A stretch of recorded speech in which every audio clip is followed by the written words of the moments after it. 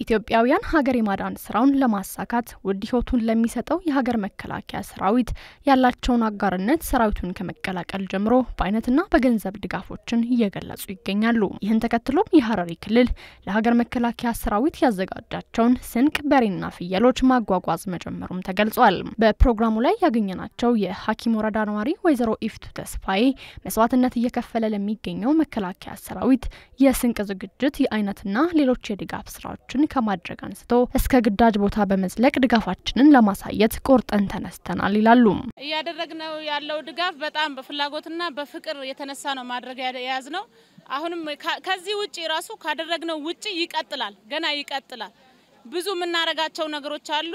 ሴት ወንድ ሳንል፣ ትልቅ ትንሽ ሳንል፣ አዛውንት ሳንል ሁላችንም እጅ ለእጅ ተያይዘን በፍቅር ከመከላከያ ሰራዊታችን ጀርባ ደጀን በመሆን አስፈላጊ ከሆነ እስከዛ እስከ ጦርነቱ እስካለበት ድረስ ሄደን መከላከያችንን በእጅ እስከ ማጉረስ ድረስ እንደርሳለን። የሀገር ደጀን የሆነው የመከላከያ ሰራዊት ለዜጎች ዘላቂ ሰላም መተኪያ የሌለው ሕይወቱን ለመገበር የማይሳሳ ነው ያሉት ሌላኛው የአቦከር ነዋሪ ኩሚያ እስማኤል ለሰራዊቱ ድጋፍ የበኩላቸውን ማድረጋቸውንና ከሚያደርጉት ድጋፍ በዘለለም እስከ ሕይወት መስዋዕትነት ለመክፈል ተዘጋጅተናል ብለዋል።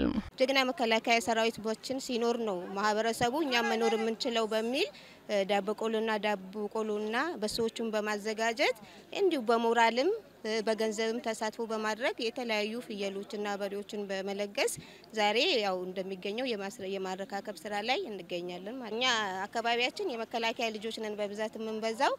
ምንም የምንፈራው ነገር የለም። መከላከያ ሰራዊታችን እስከ የሚያሸንፍ ድረስ ህይወት እስከ መክፈል ድረስ በዝግጅት ላይ እንገኛለን። የጀኔላ ወረዳ ነዋሪ ወይዘሮ መፍቱሀ አሊ በበኩላቸው ህብረተሰቡ ለመከላከያ ሰራዊት ፍላጎትን መሰረት ያደረገ ድጋፉን በስንቅ ዝግጅትና በደም ልገሳ እየተወጣ መሆኑን ገልጸው ድጋፋቸውን አጠናክረው እንደሚቀጥሉም ተናግረዋል። ህብረተሰቡ በነቂስ ወጥቶ ሴቶች በነቂስ ወጥተው በጉልበትም ባላቸው በብርም ቆመው እየደገፉ ነው ያሉት በራሳቸው ፍላጎት ተነሳሽነት።